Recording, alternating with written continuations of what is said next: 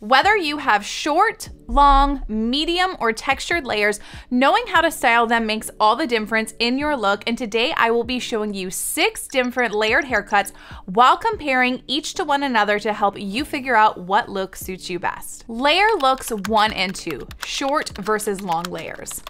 Whether you have long or short hair, shorter style layers are instantly going to create more movement and texture in your hair when styled. Long layers allow for some movement, but the overall look is a bit more soft versus the texture that shorter layers can give. You can style both types of layers very similar, but your end result will look a little bit different. Here I have two mannequins. One has shorter layers and the other has longer. I styled both of these the same way with a large round brush to create a smooth, straight look. And I think we can all see there is much more movement in the shorter layers versus the mannequin with longer layers. When I styled the hair with more fullness and bend using a smaller round brush, you can again see overall more movement and volume in the shorter layers. I then curled both mannequins with a one inch curling iron and you can see the difference here. Both look great, but the shorter layers have a touch more movement to them than the longer layers. They look a little bit more soft. Pros of short layers. The obvious movement and texture that they create, if you have lots of super thick hair, short layers are a great way to remove a lot of the bulk and weight in your hair, and you can often achieve much more volume in your hair with shorter layers. Cons of short layers.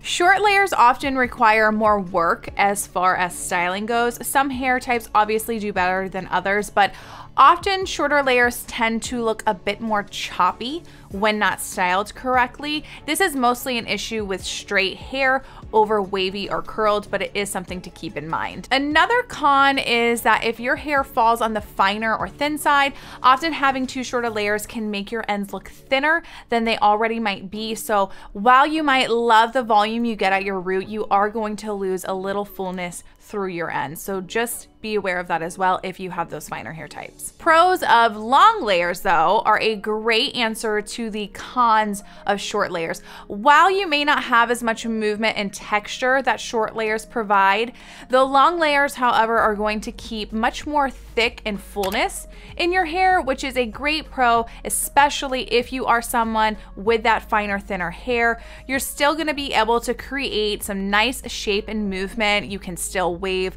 and curl it. It's just a little bit softer of a look. Cons of a long layer.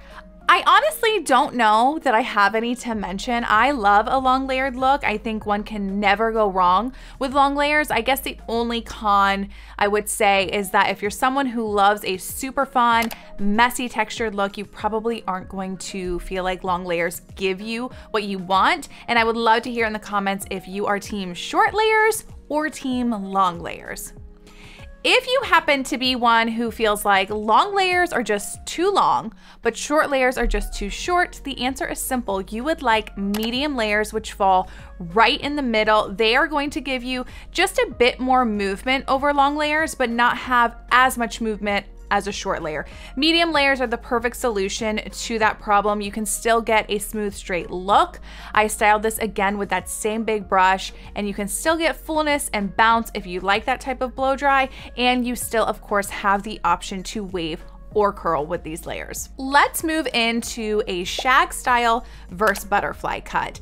These are both similar looks, but really the cutting technique is what's different here. Shags are going to have more texture given to your hair while cutting, so there's gonna be either some razor work and thinning out of the hair with texturizing shears. Shags are typically styled a bit more messy with a wave or light curl. They're great for adding texture sprays or paste to the hair. You can wear them straight. However, I do find they just end up looking like a basic short layered haircut, which is fine. It's just not the look of your typical shag. In my 16 years of being a hairstylist, I've never had anyone show me a picture of a shag and it not be waved or with bend throughout the hair. A butterfly cut still has a lot of movement to it, but it's a softer look than the shag. It's gonna have a lot of face framing, often with a swoop around the cheekbones, lots of movement in the front. Think of it as the wings, but the layers stay more mid to long in the back. It has a very flowy look overall hence the name.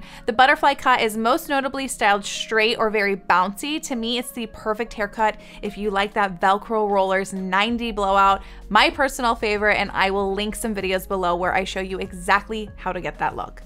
This is also an ideal haircut for finer hair types. Earlier this year, I mentioned the butterfly cut in a collab video I did with Glam Girl Gabi where we talked all about our favorite cuts for fine hair. So if you fall into the fine hair category and you're still unsure what cut or layered look is right for you, I would check that video out and it will be linked in the description and pinned comment below. Lastly, unlike the shag, the butterfly cut is most often seen straight or with that bend and bounce.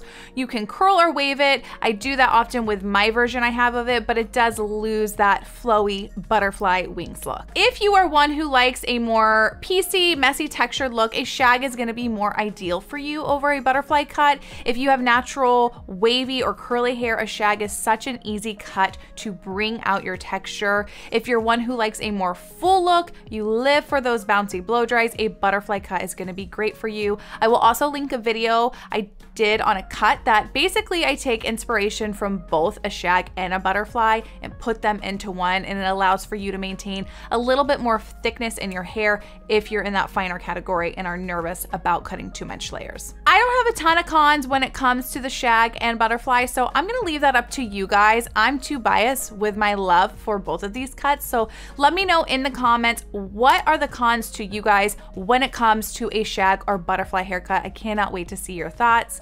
And then last but not least, I wanted to mention a textured bob. A bob is in its own category completely. It is the only haircut that can look edgy, professional, casual, dressy, with hardly needing to style it any different way to get any of those looks.